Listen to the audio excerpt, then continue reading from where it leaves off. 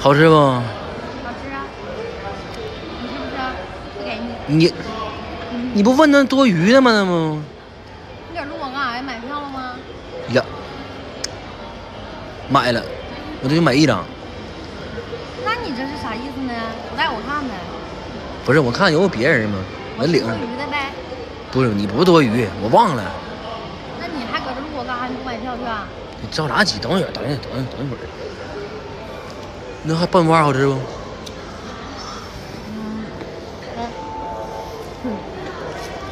他妈啥意思呢哎？我他妈吃一，香，还哎得香的。嗯，这点儿也够。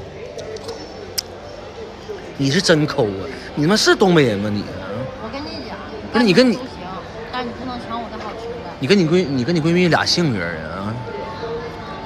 谁说是闺蜜就得是一个性格啊？啊？那啥，干啥？我看我闺蜜是不是对你有点意思？你搁哪看出来的？你不知道什么叫女人的第六感？你可拉倒吧！你还有第六感？你撞我一下，你咋没有第六感呢？哼！你怎么总？你废话，我这腿到现在还疼呢。但是我跟你讲啊，咋的干啥？我跟你讲啊，这小子呢，这这小子，他不太像好人，你知道呗？这咋说呢？他这人事儿还贼多。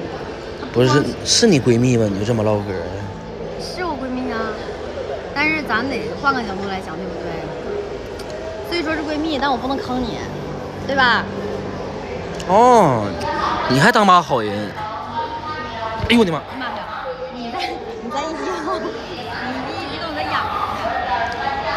你这意思让我远离他呗，是不是这意思？好，我听你的啊。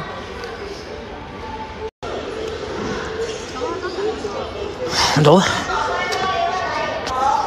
哎哎哎哎哎，那啥，我跟你说个事儿，我单位那边有点事儿，你叫我回去呢。